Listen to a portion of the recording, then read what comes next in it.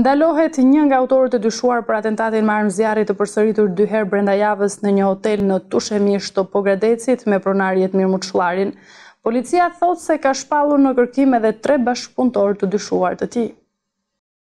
Një nga autorët e dyshuar të sulmit me armë zjarri ndaj një hoteli në Tushemisht, Pogradec, mëngjesin e djeshëm u arrestua nga policia. Policia arrestoi shtetasin Mari Glen Topuzi, tridhjetë e katër vjeç, banues në fshatin Buçimas, Pogradec, i cili ka qenë i dënuar më parë për shkatërrim të pronës me zjarr. Mësohet se ai ka qenë i dënuar me burg edhe më herët për djegien e makinës së djalit të pronarit Jetmir Muçllari. Ai bëri tetë muaj burg dhe është liruar vetëm pak kohë më parë. Gjithashtu janë shpallur në kërkim dhe tre shtetas të tjerë me iniciale IB pesëdhjetë e dy vjeç, banues në Tiranë, MB tridhjetë e katër vjeç dhe BS njëzet e tetë vjeç, të dy banues në Pogradec. Është sekuestruar një mjet motor, dy skafandra të përdorura nga autorët, municion luftarak, pamje filmike dhe prova balistike. Specialistët për hetimin e krimit për Komisariatin e Policisë Pogradec në drejtimin e Prokurorisë së Rrethit Gjyqësor Pogradec në vijim të punës për zbardhjen dhe dokumentimin e dy ngjarjeve të ndodhura më datë një i tetti dy mijë e njëzet, si edhe mëngjesin e djeshëm pranë një hoteli në fshatin Tushemisht, bënë të mundur kapjen dhe ndalimin e shtetasit me iniciale MT tridhjetë e katër vjeç, banues në fshatin Buçimas Pogradec. ka njoftuar policia. Ngjarja ndodhi në orët e para të mëngjesit të djeshëm, saktësisht rreth orës katër e dyzet minuta, ku disa persona qëlluan me kallashnikov drejt hotelit Voloreka në Tushemisht. Fatmirësisht asnjë person nuk mbeti i lënduar, por kishte vetëm dëme materiale. Nga dëshmitë e siguruara njëri prej personave i ka vendosur kallashnikovin në kokë rojes i cili kishte pikasur autorët dhe kishte bërtitur. Kamerat e sigurisë kanë fokusuar njërin prej autorëve me kallashnikov në dorë dhe maskë në kokë për të mos u identifikuar. Mësohet se edhe më herët ata kanë tentuar një atentat të tillë në Tushemisht, konkretisht më datë një gusht. Dy autorët me maska në motor i janë afruar hotelit. Më pas njëri ka zbritur me qëllim që të qëllojë por nuk ka funksionuar automatiku dhe autorët janë larguar duke djegur në fshat motorin. Materialet i kaluan Prokurorisë pranë Gjykatës së Shkallës së Parë Pogradec për veprat penale, Kanosja, shkatërrim i pronës me mjete të tjera, prishje e qetësisë publike dhe armbajtje pa leje.